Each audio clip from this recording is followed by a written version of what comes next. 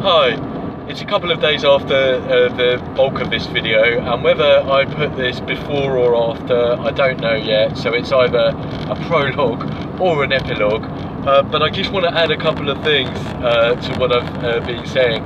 Um, for fellow wind warriors uh, everything I said will come as uh, no news, no surprises and it will all make perfect sense. But for the rest of you uh, who I do hope watch this, people who've never heard of this sort of topic before, um, you might be thinking I'm totally bonkers and banging on about stinging nettles is a bit weird. And I, you know, I, I kind of asked myself, did I really make clear the point of the analogy as clearly as, as I wanted to?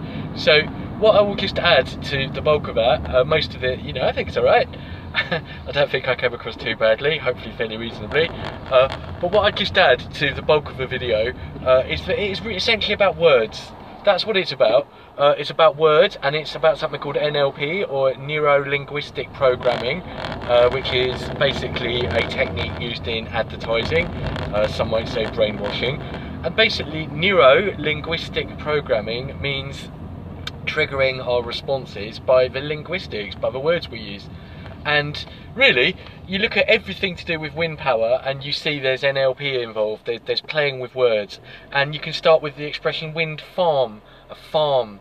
You know, you think of sort of, oh, it's nice and rural, oh, the chickens, oh, you know, cows, sheep. Uh, and that's why it's called a wind farm, farming the wind. Uh, as opposed to a wind factory. Now imagine if we called them wind factories or wind power stations or wind electricity generators uh, immediately get a different kind of neurological reaction, if you like. Uh, that's why it's neuro-linguistic programming. So everything to do with wind power needs deconstruction, uh, deconstruction on a kind of linguistic level, and that's why the, anal the analogy with stinging nettles is so apt, because the name stinging nettles includes the negative uh, fact about them as part of the description, and in a way the kind of defining characteristic of these. These are stinging nettles. And my point is that, you know, we talk about wind farms with that kind of hidden, positive, rural, bucolic, idyll kind of uh, implication. what we need to do is we talk, we need to start talking about things like, you know, wind blades, because blades have, have that kind of negative connotation of violence and aggression. So we need to look at the language of wind power and we need to use similar language to stinging nettles to describe the visceral kind of immediate negative reaction we get to uh, seeing or experiencing wind turbines and it feels like being stung.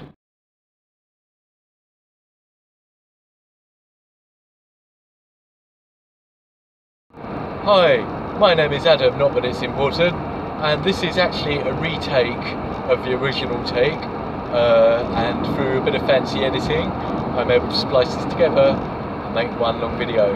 Not too long I hope, and I hope to keep your attention all the way through. I'm redoing this because I thought I uh, rambled a bit and uh, I critically think my own work. Uh, I look back at it and I think, am I getting across the points I want to get across as succinctly and as unambiguously as possible? Uh, so, I wasn't quite as pithy enough. Uh, I'm going to try again. Without further ado, what have I got against wind power? Well, as I said in the what was going to be the epilogue and is now the prologue, uh, it is about words and uh, I'd like to really use that as a starting point. And I talked about wind farms uh, and the NLP, the Neuro Linguistic Programming of the wind companies to make everything sound hunky-dory. Uh, there's a lot. There's clean green energies when you see a lot. Sounds good, doesn't it? Clean and green. We all want that. Let's break it down though. Is it as clean and green as it says it is? That's the point. Now we're having a go at the ideas of cleanliness and greenness. Far from it what we're having a go at is people who claim to be and aren't, aren't what they say they are. Uh, it's false advertising, really. Uh, it's selling shoddy goods like Del Boy, Fools and Horses, the Arthur Daley, Minder, ask your grandparents. oh dear. Uh, anyway, um, clean green energy. Well, the idea that it's clean is uh, based on the fact that there's no CO2 emissions. Fact is, though, wind relies on backup 100% of the time. We never know if it's going to be windy or not. Um, and you can't just sort of turn the grid on and off. Oh, kid passing a wind turbine. I am on the M62 near Warrington. Uh, and just a quick disclaimer, I do not touch the camera when I'm driving. I do not look at it. I stop the car, I hit start, I give it a few seconds, is kind of dead time, I get driving again, then I start talking, then when I'm done, I leave it rolling, I find someone to pull over, I hit stop. Uh, I just have to say that because someone actually referred to me talking in the car in one of my videos. This in fact invalidates my argument, uh, and that's kind of typical of what we're up against, uh, the name calling and stuff, and, and the kind of spurious non-arguments. Uh, but anyway, I digress. So yeah, is it as clean and green as it says it is? It's certainly not green, I mean, that's for sure. And that's something I'm trying to take footage of. I'm trying to show you clean or green hills, clean green hills that have been sort of fouled up, turned dirty and turned into building sites. Grey and white replaced green. So no, uh, the wind turbine I'm looking at right now, which you can't see, but it's far from green. In fact, it's a horrible white grey colour uh, and it totally kind of dominates what would have been a green landscape. Uh, it covers up green. Um, I don't think it's clean either. Now, let me give you another stat to ponder, and you can check this one out. Uh, let's round up to the nearest full number. Um, see something just dangled in front of the camera, but I can't move it because it would be taking my hand off the steering wheel. Oh well. Uh, guess how much globally, how much percentage of the world's power was produced by wind last year? To the nearest percentage figure. That's right, it was 0%. It might have been something like 0.3 uh, percent of the world's power was produced by wind, but not even 1%. So often you'll find that wind gets lumped in with, quote, renewables, renewables figures all the power was renewable. And if you look a bit deeper, you'll find that actually biomass is probably the biggest contributor from the renewables. Now let's bear in mind that biomass is actually chopped down trees, deforestation, wood pellets, shipped over from the North American forests over to places like Drax, where they get uh, burned. So it's burning wood, alright, no CO2 emissions, but it's still burning wood and it's hardly clean and it's hardly green.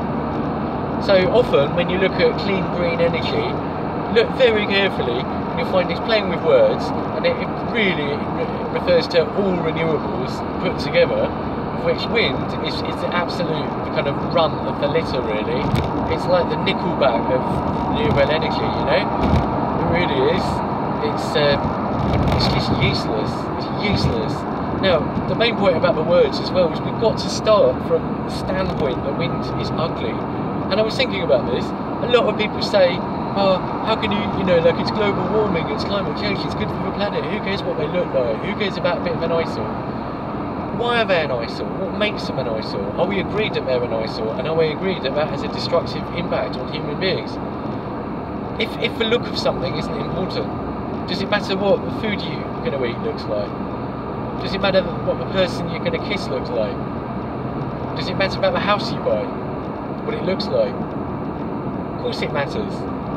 And the look of stuff on the outside, unless you're very superficial, is often a reflection of kind of ugliness or beauty on the inside, certainly for me. So when I see an ugly wind turbine, it's not like something with a beautiful heart that's just got an ugly skin. It's actually like that movie, Shallow Hal. It's the interior workings are ugly, it's what they represent is ugly. Uh, there's a quote from the Bible, if you're that way inclined by their fruits, so you shall recognise them. Uh, don't ask me to say where it came from, but it's a good quote and it makes sense. By their fruits you shall recognise them. The fact is, the fruit of wind farm operators is brutal, warped, bent blades imposed on people against their will, erections inserted into hills and Mother Earth against her will without her consent. Um, washed in white, like a whitewash.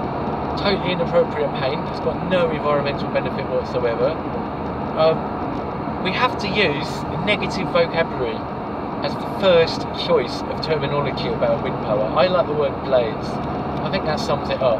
What we're doing with wind power is we're giving corporate control over our green unspoiled places to people who want to erect brutal warped blades.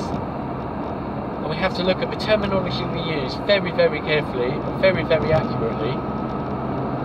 And we can't keep using these silly words like clean and green. without breaking them down a bit. They're not green. They take somewhere that was green and they make it less green. Uh, they really do. Look at Scout Moor. Well, it was more kind of brown uh, for peat bog. Did you know that peat absorbs CO2? So every concrete foundation, every HGV access track across the moorland that removes peat is removing one of nature's most potent sponges to absorb CO2. Um, ask David Bellamy, he knows more about this than me. Ask him what he thinks of wind power, wind power and wind blades. Even the word turbine sounds horrible, aren't they? What, think of a turbine, it's an engine. Uh, it's industrial. You know, let's get real, these are power stations and they're useless ones.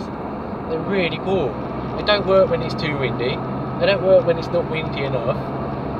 On any given day, you look at a load of them and you'll see there's no correlation between wind speed and how fast they're going.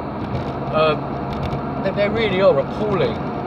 And, and you know, there's no pussyfooting around the fact they need to come down and heads must roll. And if you insist on having one, you'll be forced to take it down and you will go to prison for it. Uh, this is going to happen. If you've heard of an expression, the Overton window, this relates to political discourse, uh, and there are six stages. Now let's see if I can remember them. Unacceptable, radical, uh, what was it? Sensible, popular policy, something like that. It's a shift in a discourse and ideas. You know, look at look at things like the trans agenda, agenda. I said agenda, but the transgender agenda, and the Overton window on there. How that shifted over the last 10, 20 years.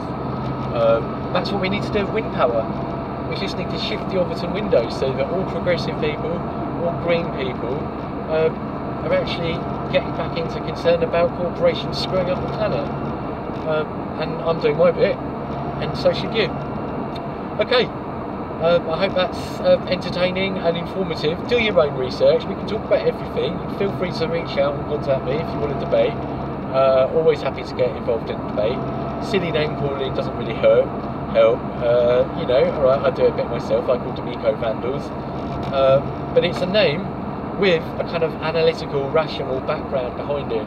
Uh, I looked up the word vandal in a dictionary. I, I abide, abided by the definition, which says people who destruct things.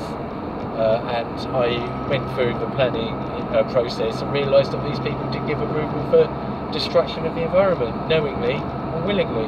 Uh, and therefore, vandals, it is a name, but it's not a silly name, it's on top it. And uh, if they can prove they're not vandals, I, I will remove that name. Okay, thank you very much indeed for watching.